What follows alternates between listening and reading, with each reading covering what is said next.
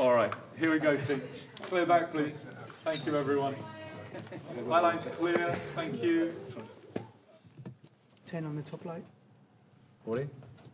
40. Okay, put on the uh, front, the Hudson, please. Examine the scrapes in the different light and all the wear and tear. It's really good. Let's go to shot two, please. Yeah, that's why I'm wondering if literally we consider, I mean, I think that having the space around the pads is great. Let's eliminate things. Okay, team, so fall back To the behind degree that we camera, can, I'm not saying Thanks, like everyone. necessarily here. I'm sure that's what, look at you guys.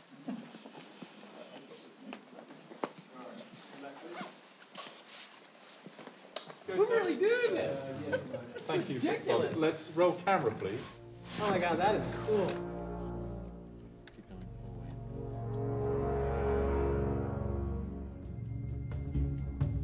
This was when we were first starting to see what Batman would look like on film.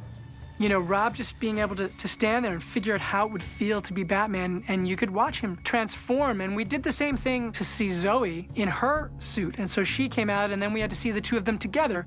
It was like this kind of like in between world. Like we were almost there, but not quite. But it's cool because you kind of get a taste of what it will really be like on set. For the first time, you were really seeing what this version of these characters would look like, and you were seeing it being born right there in front of you. I find that really fun to try and find just a new way of doing something when, you know, a lot of your heroes have played it before. Yeah, and then the terror, the terror kicks in. At the beginning of the terror.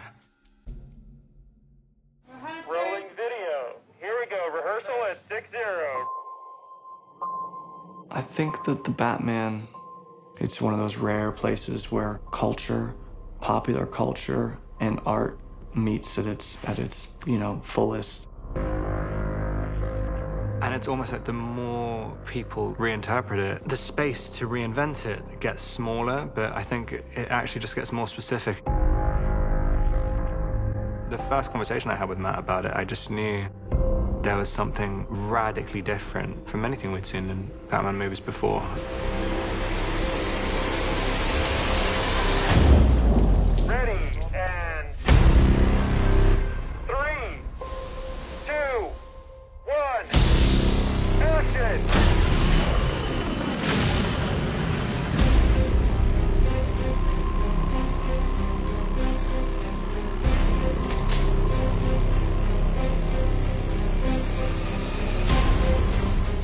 Beginning, I didn't want to do an origin tale. I didn't feel that I had some new way of doing that story. I wanted to do an imperfect Batman, really rock him to his core. I don't care what happens to me. That is what I'm afraid about. To not be in total control, who was being challenged by these crimes and who didn't know how to do all of these things yet. So you were seeing a Batman who was still becoming. Renewal is about growth now. Matt just had an angle on something. I mean, it's definitely made some bold stylistic choices, but also story choices as well. Even some of the major plot points, or even in the comics, they're just wholly original. Nolan did an incredible job with Batman. Zack Snyder did an incredible job. Schumacher, Burton. When you take this on, it's significant. You're terrified, and then you get over your terror and your fear, and you go, what are we trying to do? You better swing for the fences. There have been great Batman movies. You kind of have to feel like, okay, so can I come into this and do something definitive, distinctive, and different? That, to me, was the most important thing.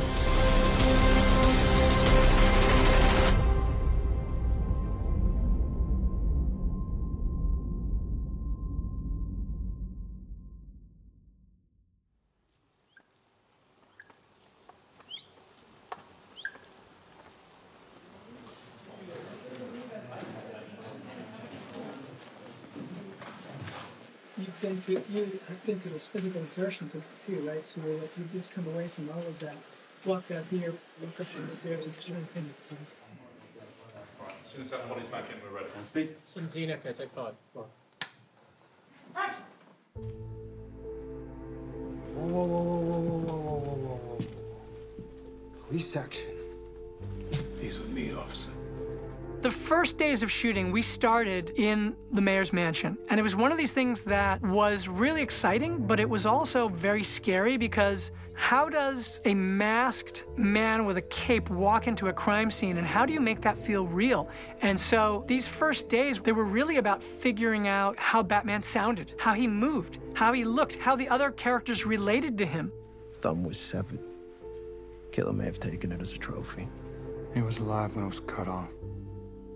Ecchymosis. Matt was very, very clear saying he wanted to make this a detective story, that right from the beginning.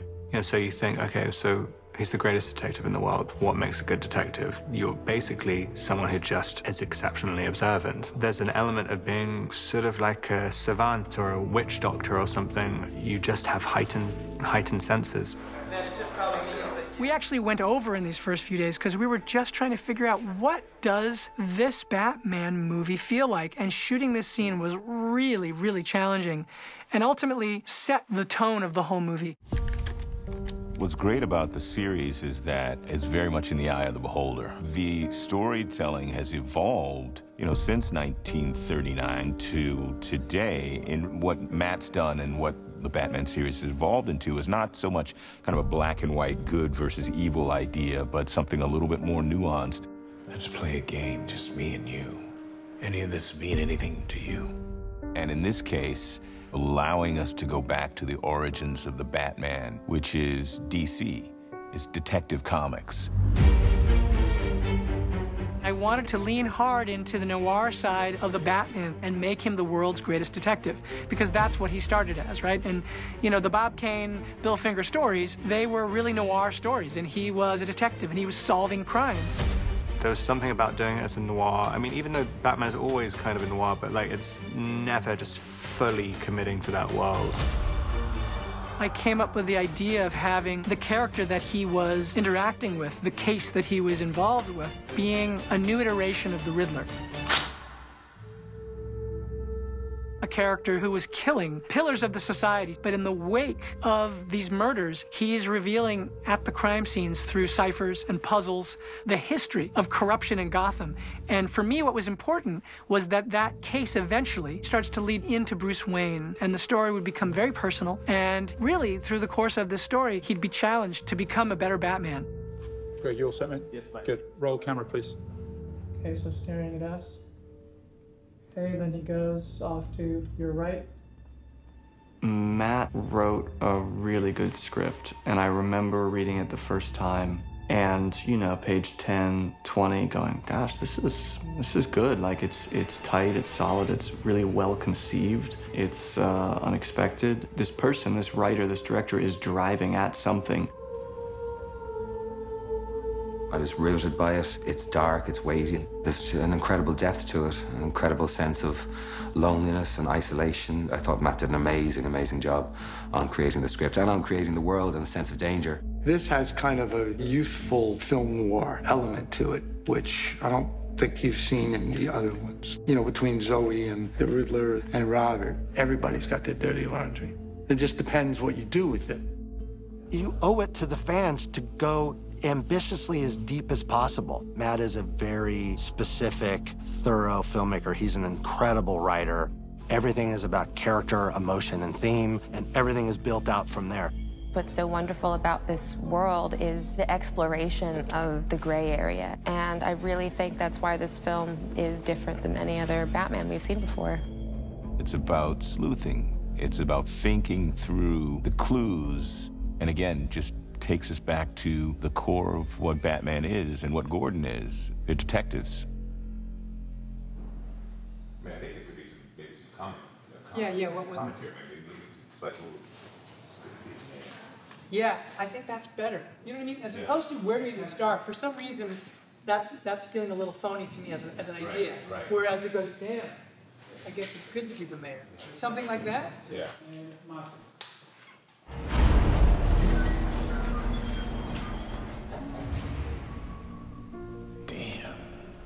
Guess it's good to be the mayor. You sure this isn't a leap? You don't trust me? You mean like you trust me? It's been two years now, and I don't even know who you are, man. The directors that have come before have interpreted these characters, you know, in their own images. And so my Gordon is very much reflective of the vision that Matt had for Gotham, but also it's, it's reflective of the work that Robert does as Batman. And they're very much, of course, a team. Thumb drive. Oh, this guy's hilarious. It's difficult for Gordon because, like, you know, Batman has, he's pretty set in stone. Like, I do not trust anyone in the entire police department, but I trust you, like, probably about 60%. This was, again, very much inspired from the partnership that they had in Frank Miller's Year One. Gordon in that story was a very human character. He was imperfect. I really wanted a character who had a, an innate goodness, but was swimming against a tide of corruption. Gordon, as this kind of overwhelmed everyman, reaches out to Batman out of the sense that he's a capable figure. And he's also, I think, what I've discovered in playing in playing this, he is one of his biggest fans. You know, Jeffrey is very funny, and he's got great charisma as well. He's an amazing actor. He was not at all afraid, and we talked about this a lot, to have egg on his face. In the face. They had a very unique kind of rapport, and it was, in that sense, like a buddy comedy. There's a confidence Jeffrey has. It's like a humor in what he's doing that I think is slightly different. He's just trying to do his best, aspiring towards some type of uh, justice, or, but he's not, he's not nearly there. And, you know, whether he has the capacity to be there is another thing, but he's at least, you know, trying.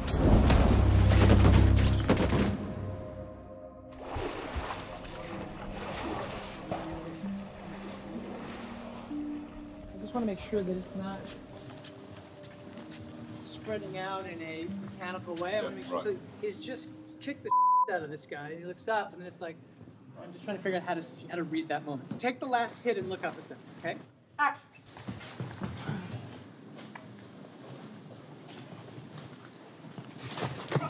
Okay, so so so what it what it feels like you're doing is checking with each other who really wants to face him, but it's like okay, so we're doing this, except who the to do it. With that in mind, do we try that once more with that idea? Right, guys. All right. You don't have to go any further than the first So one. key frames left. Camera record these, please. All right. So real life, grounded. You know, in the Burton movie, I remember it was such an exciting moment when that guy says, you know, who are you? And he says, I'm Batman. That was such a definitive moment. Somewhere early in the writing, I came up with this idea of him not saying, I'm Batman. He's actually, at this stage in his career, kind of a frightening figure. And I wanted him to use that phrase that is in so many of the comics, which is for him to say, I'm vengeance, because this is a personal mission. He's had this concept of Batman, which he's been building for a year, and he doesn't know if being Batman is going to work or do anything. He's just compelled to do it. That's a kind of important differentiation of this Batman. Basically, the options are kind of death or being Batman. This whole thing starts really because of what happened to him as a child, and what he's doing is he's taking out his vengeance for what happened to him. And I always just get the impression that he just wants to keep recreating the night where his parents died. All the fights seem very personal. He's fighting a stranger as if they have personally harmed him every single time. They think I'm hiding in the shadows. But I am the shadows. I wanted a shocking moment where these guys would be terrorizing this commuter, and out of the shadows would come Batman, and they'd think, well, who is this goof in this costume? Now knock his ass out.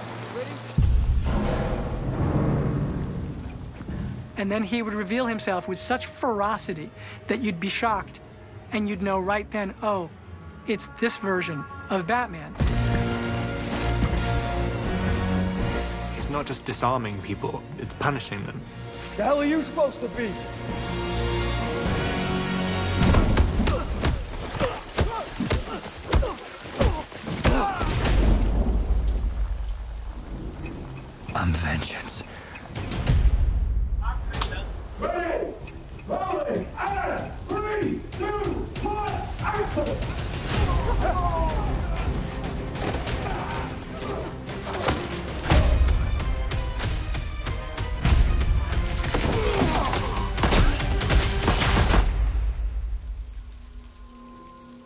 The end of the day, he doesn't even really have that much in the way of technology to give him an advantage against the people he's fighting against. I mean, he has a few layers of bulletproof armor and a few gadgets, but it's pretty rudimentary. I mean, he's very, very, very fallible. Batman doesn't have powers, he just has a drive and he has the resources. I thought, well, okay, so then he's going to create this bat suit. The purpose of the bat suit is twofold. One, it's to intimidate and scare the hell out of the criminal element. Two, it has to be very protective, it has to be very tactical, it has to be like riot gear.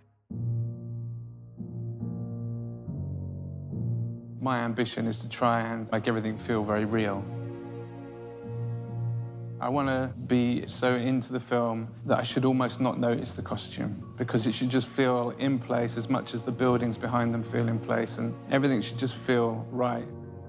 Well, it's quite daunting because you're trying to think what else can you bring to something like this. When I was younger, that's when they first made the kind of Michael Keaton suits. That was the kind of high technological costume making at that time. Matt's inspirations are very dark detective films. Gotham's this kind of rotten sort of New York of the 70s. And then there's Batman, and he looks like he's part of that.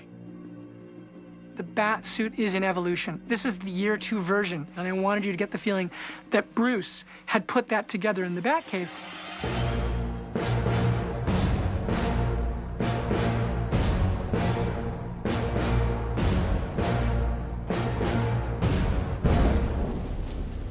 We'll have an initial conversation about the direction, what kind of feel it should be, the tone of the suit. So then Glyn will go away and kind of do some kind of exploratory drawings. Then we'll come back, then we'll discuss.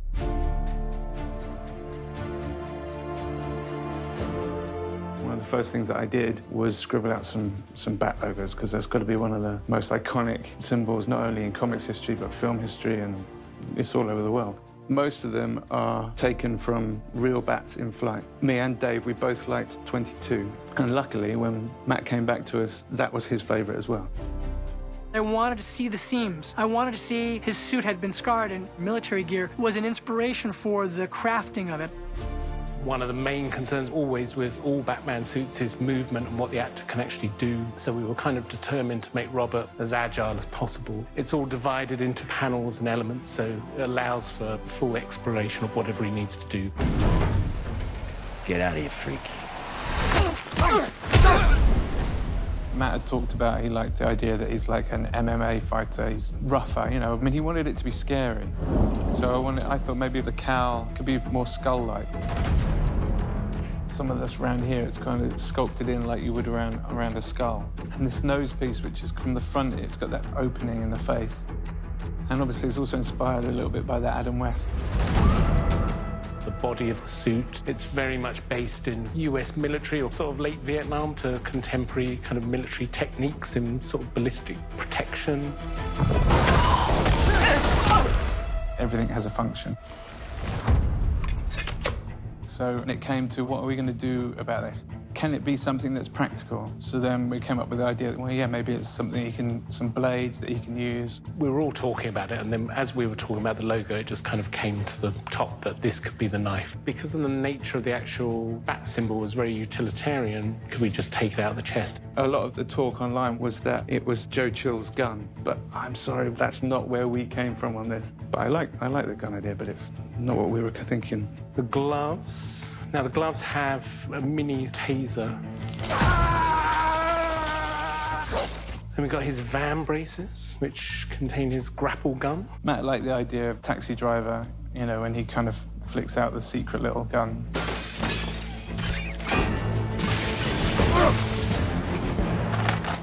That's old school engineering, so he's able to fire fire his uh, his hooks. So that's eventually what gets deployed out. So this opens out and allows them to pull him up up building in the classic way. It was it was fun to make. You know, the guys in the in the workshop do a great job. The first time I put it on, I mean, I'd been in the Batman Forever bat suit and realized you are basically a statue in there. And so the first time I put on this bat suit, there's so much more maneuverability that I was like, oh, wow. It's like wearing normal clothes of any kind. It's definitely not like wearing normal clothes at all. He looks great in the suit.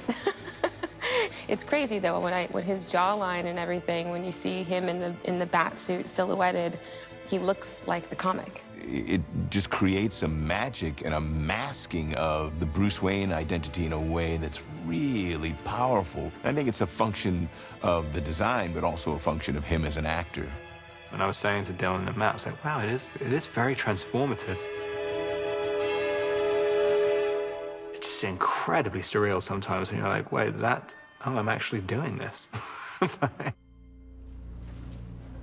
The costume team is incredible on this film. I take quite a huge responsibility in effectively putting all those people's craft on screen. Trying to see into a character through a dark costume, through dark eyes, is very hard. To see emotion, but not give away the mood. Light is super important to me. It's one of the reasons why I love working with Greg. It's funny because we would look at different things and we'd look at the cowl, he'd turn a light on, and we both look at it, and if when a certain light would come on, we'd go, oh, sad, no good. When we got really excited, we knew something was really exciting. We wanted to remind viewers about first Batmans, you know, the, the early comic books, the character that, that lurks in the shadows. From every single angle, we wanted to be able to take light away from his foreground, but to be able to recognize his silhouette. But within those silhouettes, you needed to see deep into Batman's character. So it became quite clear that we really needed to sort of skirt the line of fill light in the eyes or no fill light in the eyes. Because not seeing into the soul of a character sometimes is more telling than seeing into the soul of a character. Finding that balance between seeing detail and not seeing detail, that was one of the, the big things that we explored very early on.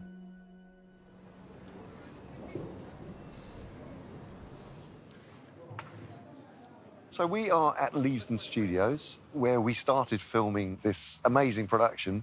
Everyone's up against it, and the time time's tight, and there's so much to do. There's a remarkably good uh, energy and really exciting sort of feel behind the project. I mean, Matt took years to write this project, and he talks about it all, all the time. And so to come into, you know, to come into another iconic story and to face all those challenges together, it's fantastic to see it finally coming together. Shall I take this as a good sign? What? Your attire. Is Bruce Wayne making an actual appearance?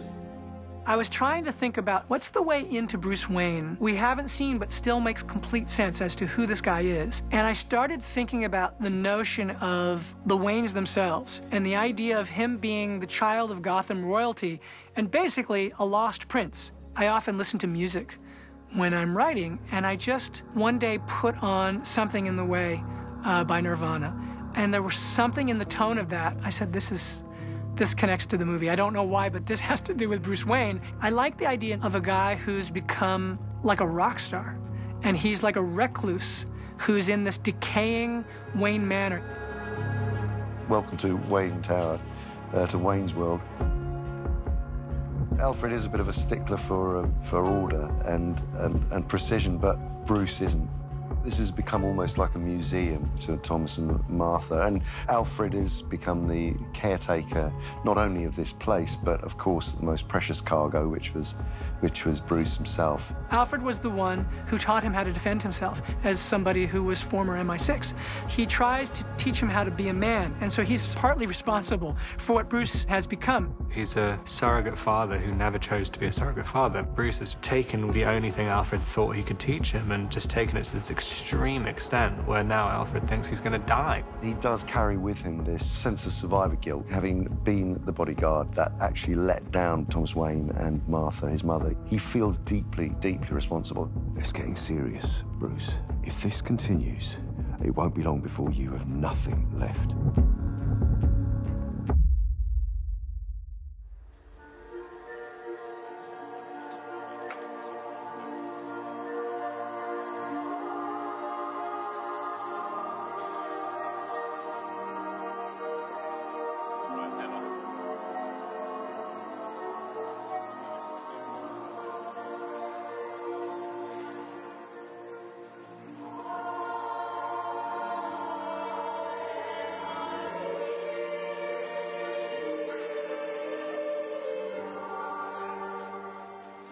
Shooting in the Gotham City Hall today. This is the funeral of Don Mitchell.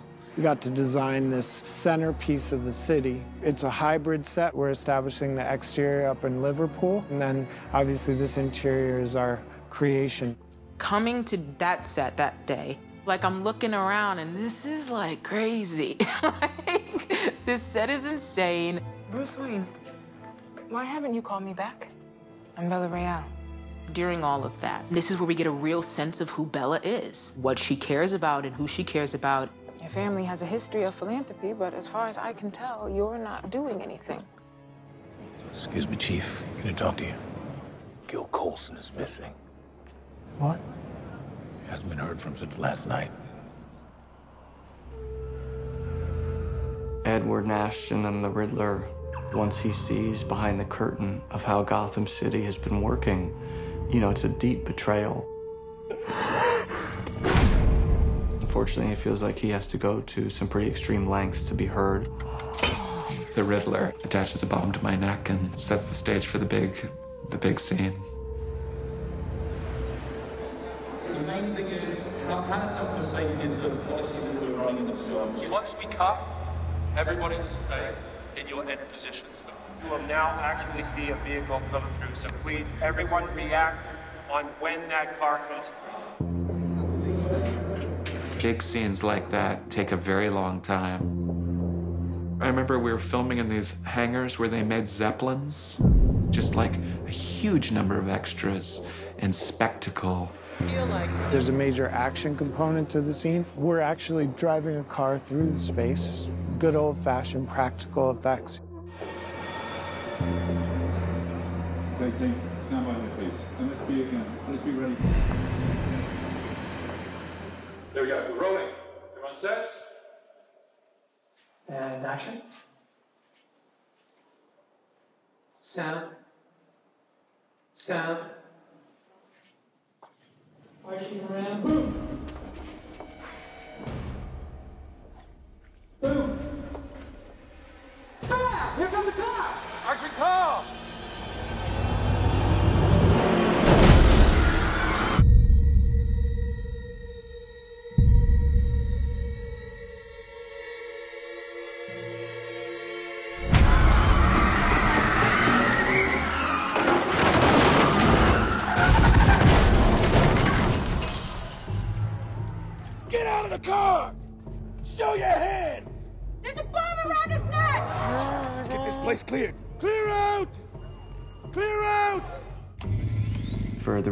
To get what he wants, he needs a partner. You came. Puzzles, numbers, riddles, games. Riddle number one! That's one of the only ways that he could escape. It can be cruel, poetic, or blind, but when it's denied, it's violence you may find. He needs the Batman to do some dirty work for him. Justice. Huh? The answer's justice. Yes! Justice! There's an incredible image at the end of Hush of the Riddler at this sort of chess match. And he's got this great smile, and he's kind of the puppet master. 20 seconds. I feel like it's a, a little bit like that, maybe.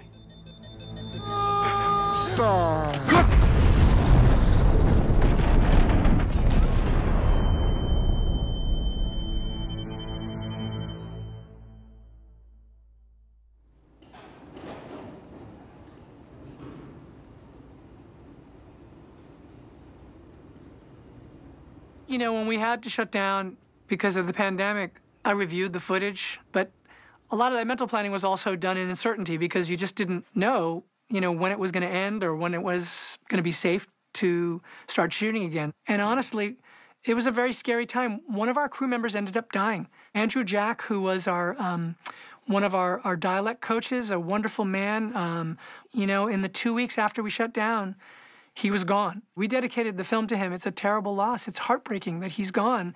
And I know so many people during the pandemic lost people close to them and and we were no different and so we knew that our in our shooting we had to take this business deadly seriously and we did.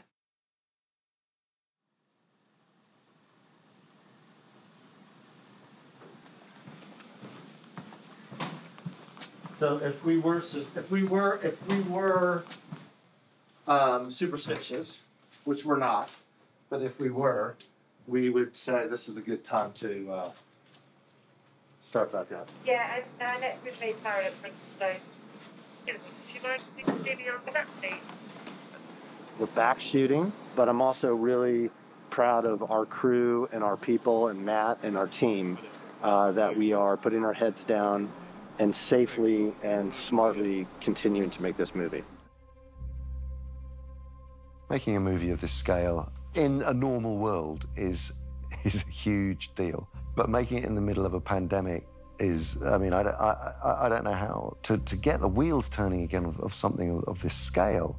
It's just huge. We're, we're small right now. You know, we started with scenes with two people and we shot some really interesting things, but pretty soon we start cutting outside, more people, extras, and but again, we're, we're we got a lot of people checking in place to just um, uh, you make sure we do it correctly. Hello, mate. How are you? Good. Why do you look so fresh? I've no idea. Good. So maybe it's your eyes are blurry because I don't feel it.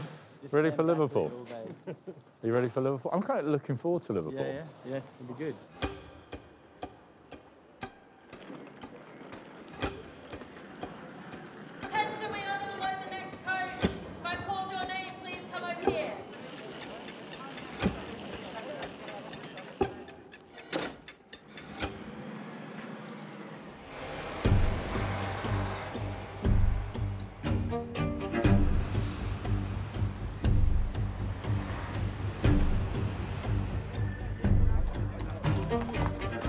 Are in Liverpool. I'll, tr- I'll trust you that it's day 55. It's really hard to keep track of these days now. This is the arrival to the mayor's funeral. And so Bruce is coming here really as a detective. And so he's coming here just looking for suspects. Ready and background action! Ready and action! Hit Bruce Wayne.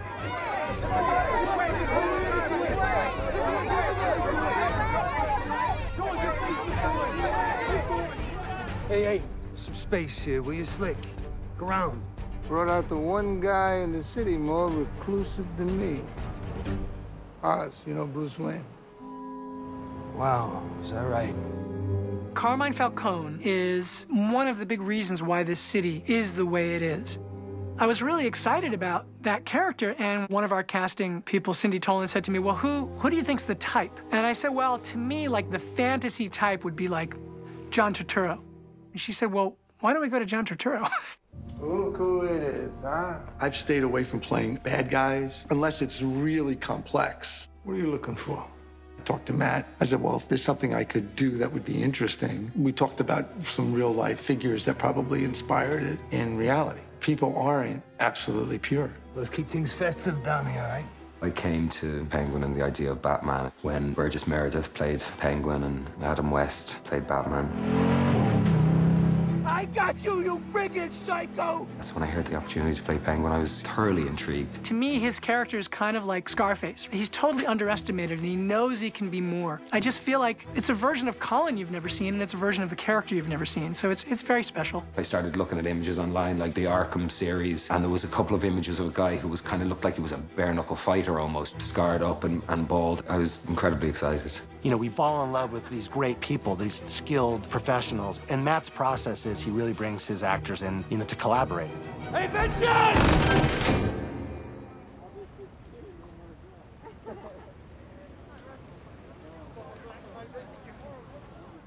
You know, so much of what you do when you're talking to actors is you're you're connecting with them personally. But the truth is, I saw their faces, but they didn't see my face for the rest of the movie. I looked like this for the rest of the film, and it was quite a strange experience. He's like Batman, basically. He's more obscure than Batman. He's, he's got goggles on, a hat, and a mask. But it's, it's a little bit of an adjustment doing this.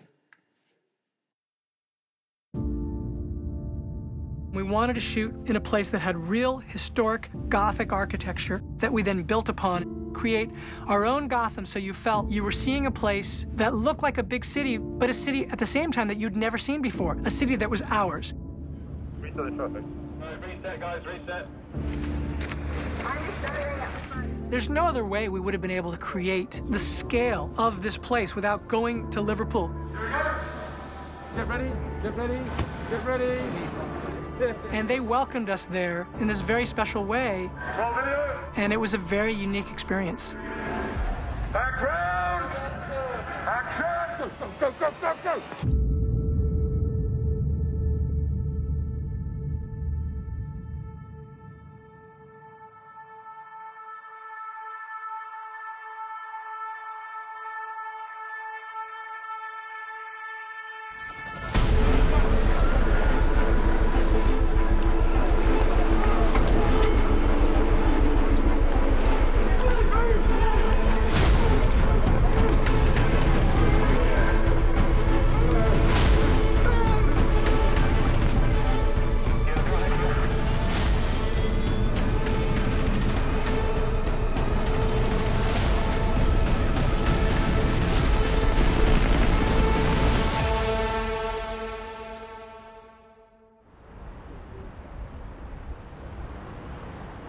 I mean, the great thing about being on location here is this scale. When I was a child and I was um, reading the comic books, that building there, uh, that's exactly how I saw Gotham. And it's so funny to be standing here making the Batman, and that's my childhood right in front of me. My own kind of image of what, of what Gotham actually looked like. Uh. We've come to do the opening shot which is which is uh, we're establishing Halloween. We've created these hot dog stands and these little Japanese kind of yatai tents where you can just go and grab some hot food. And uh, nearly everything which is represented here is that there's a huge team actually behind me that helps gather all this stuff up. For, for this particular setup, it's taken about three or four days to do. So this is Tent City, the idea is just to make it look like a homeless city. The idea behind this stall, it's a donut sweet treat stall. So this is made by Jamie Wilkinson, who's a prop master. And so he, you know, his perfect place is between the hot dog stalls. Yeah, it's good. Bob. This was the first set that Matt and I started talking about as we tried to develop the look of Gotham. So it was a global search it just is like a perfect fit. And it really is just sort of an establishing moment. We see him moving through the city as the drifter, and it's a real opening into the scale of Gotham. It's Halloween night, so we're feeling all that energy. All right, team, welcome. Welcome to Gotham Square. It's a fantastic set. It's a wonderful spectacle. Our plan of attack is we have a crane down the road there. That's our first setup. We have a lot of moving traffic, about 50 cars here that will be travelling. So we end with a crane shot of our drifter riding down this street, as well as a drifter rigged shot as well, which will be rigged before we get there this evening. All right. Good. Let's get Liverpool done. Well done, everybody. Thank you.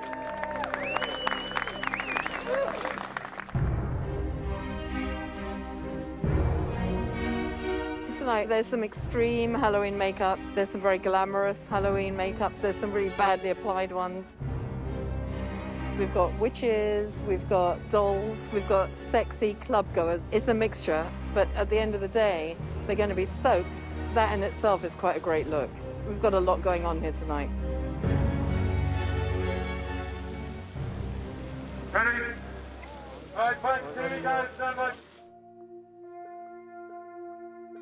You can't walk through Gotham Square in your bat suit, or people will look at you and go like, well, there's that weird guy. When I was looking at the comics, I came across that sequence in Frank Miller and Dave Mazzucchelli's Year One, where Bruce, before he's Batman, creates this other alter ego, which is not Batman yet. It's the Drifter.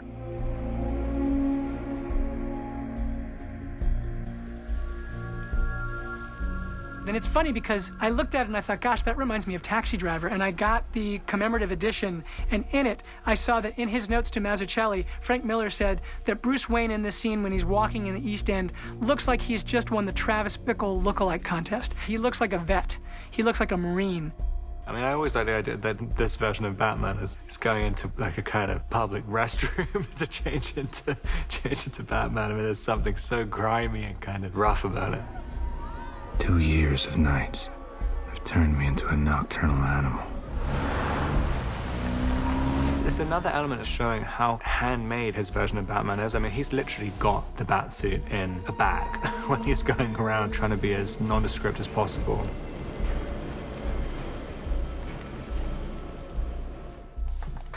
Camera speeding, 48 forward. Ready and action.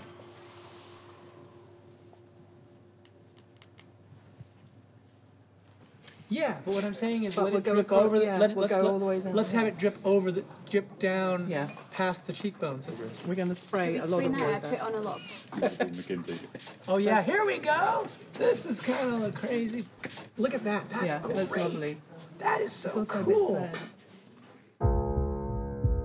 When I was working on the script, toward the end, I just needed to do another pass to finish the third act and really land that. And I worked with another writer.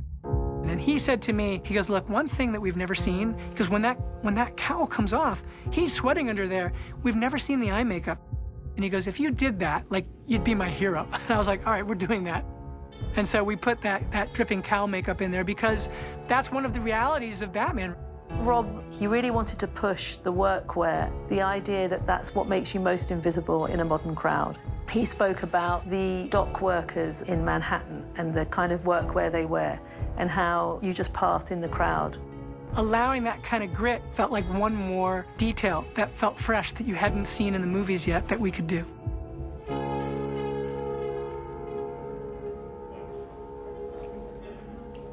When the camera moves, the parallax changes so it looks. When you see what this looks like through the camera, wow, it's ridiculous. Good job, guys.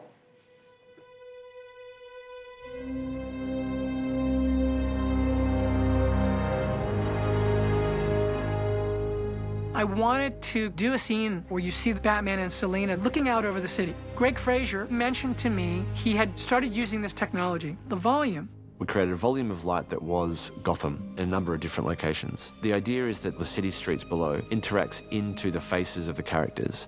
You may not see directly a car headlight sweeping across Batman's face or across Gordon's face, but you feel what is the conglomeration of all of those buildings together and the atmosphere illuminating the actors, and it just feels right. Greig could actually move the sun itself. This was one of those things that had not been done in a DC movie, had not been done in a Batman movie. It's one more thing that creates not only a photographic reality, but it creates a kind of creative reality for the actors as well. The content here you see is a very deep environment. There's many, many moving pieces, and we're pushing it as much as we can. We started out working on the Falcone's loft environment, a loft over a bridge with moving traffic and a huge digital city. And then here we're doing the Searchlight building. After this, we've also got the cemetery. Other environments we've done are sort of a little bit more contained, slightly simpler open deserts. Here it's a sea of detail. When we first sat down with the ILM guys, you know, we said, look, we want moving clouds, we want animated traffic. And it was a thing that was, it was a little bit bleeding edge for them. James and ILM and myself basically all had an opportunity to design this city. You know, for me, it was very simple. I needed something that would do what I needed to do for light. From James's perspective, he needed something that would fulfill his vision of this incredible city that we're filming in. Then ILM then needed to help marry those two ideas together. Once we knew we were going to be shooting on screens, I think we quickly realized it was going to be really beneficial to us to have a location in the world that we could shoot plates on. So we found a location in lower Manhattan that was the position of the skyscraper and then sort of rebuilt the world around it. It's beautiful. It's beautiful technology. We wouldn't have been able to shoot that scene in any other way. It looked 100% like we were on the roof of this place. Maybe we're not so different after all. Who are you under there? You know, me and Rob had this emotional and romantic scene on the on a roof, and to really have the cityscape, it was a game changer. It was incredible what they were able to do. Just don't make any moves without me.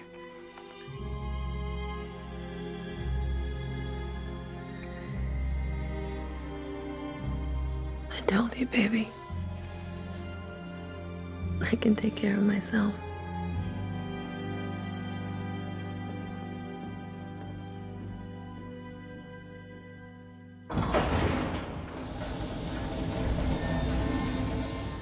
What have you done?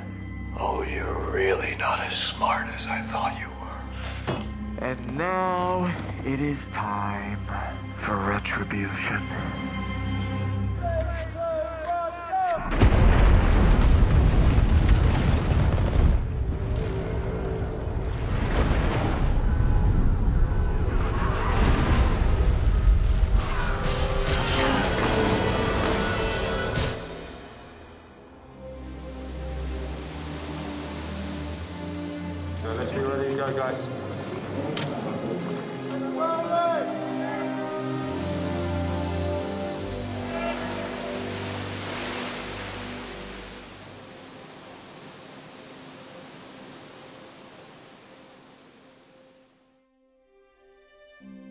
One of the things that was important to the story was that I knew that Batman needed to go through a kind of baptismal transformation. The city itself needed to go through that as well. When I was talking to James Chinlund, we started talking about New Orleans and the flooding that happened after Katrina and the kind of how harrowing it was.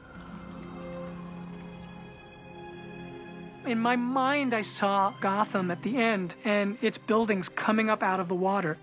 It's a potential new beginning, but that the city has had to go through something quite traumatic.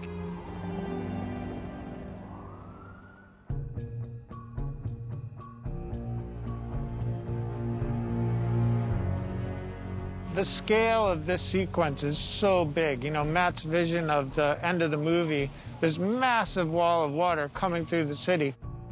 Breaking that down into pieces that we can actually shoot was really, really tricky. This is an incredible special effects piece that was built by Dom Tuohy and his team. We've got a lot of water pumps that are in here creating this kind of waterfall. We built a tank that's got 500,000 litres of water. It's an amazing combination of three locations Chicago, the Thompson Center for the exterior, London interior, and then these pieces here on stage. Every shot we will do here, apart from when Batman starts to walk away, will be in camera. So what you see is, is what you get. To me, our third act is it's a giant spectacle. And we're trying to do something emotionally surprising that was achieved with Matt and Rob working that moment where he realizes that he's culpable. I thought I knew what I was doing. I didn't have all the information. I have to become more.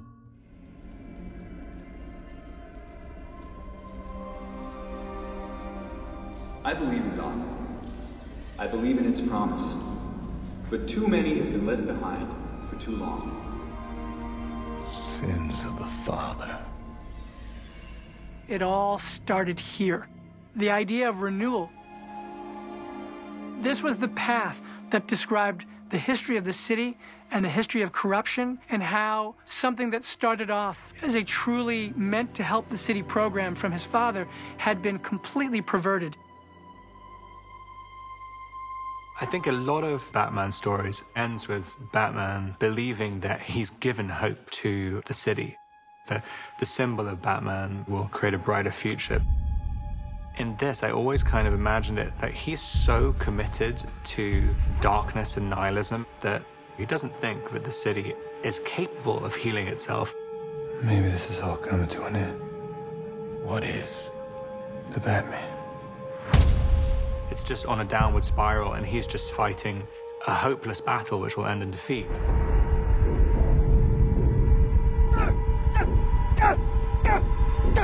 I wanted to get to a place where that message that he was projecting out would be reflected back to him, and that when it was, it rocks him to his core. Who the hell are you? I'm vengeance. There is a dark side to this idea of vengeance. Here we go. And so it is now his responsibility to somehow make this right and to even sacrifice himself if that's what it takes.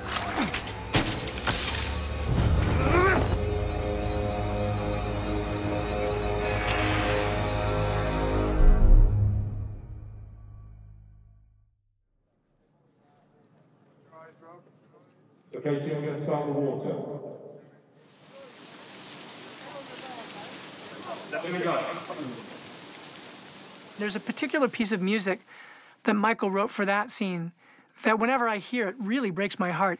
I'd say that was one of the most important moments that I'd been after from the very beginning of trying to tell this Batman story. So that was a pretty special day.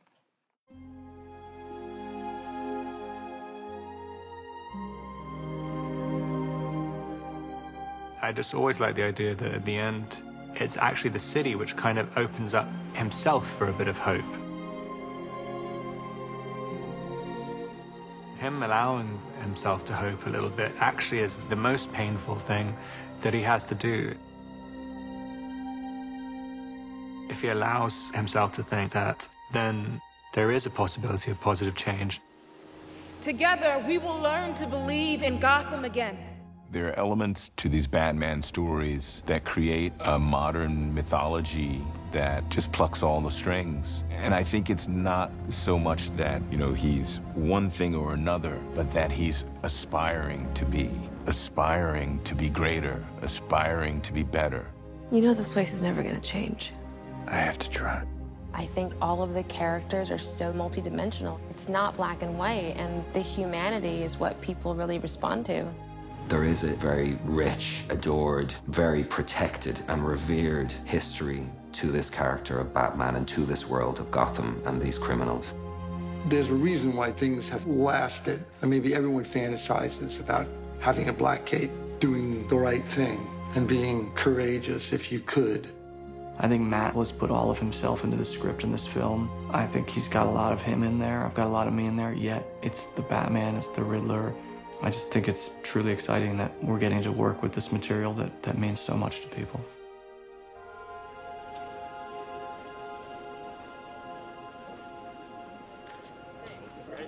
I think it's not. Oh, what do you do? You press that green Oh, this thing? Hello. Um, this was a hard movie to make. By far the hardest thing I've ever been a part of. Never worked on anything so long where we're in production because of what we went through. I thank you from the bottom of my heart because I care so much about what we do. This movie means so much to me, but you guys showed me that you care just as much. Thank you so much. Uh, but yeah, from my end, thanks for putting Call it. They want to hear it's a wrap. Call it. Oh, I'm sorry, sorry, sorry. I was just giving another 15 minutes of overtime. I, I, we don't need that. That's good. Uh, yeah, ladies and gentlemen, congratulations. That is a wrap. We were supposed to be doing this for about five, six months. We were there for a year and a half. We all had experienced something that none of us in our lifetimes had ever been through and that the whole world had never been through. And we made a movie during it. Not only that, but we made this movie during it, a movie that we loved and a movie about a character that we love so much. It's one of the major characters of the 20th century. So many people connect to it on such a deep level and for so many different reasons have some level of responsibility to the people who've invested so much in the character. And you can feel it. It's, uh, it's fun, though.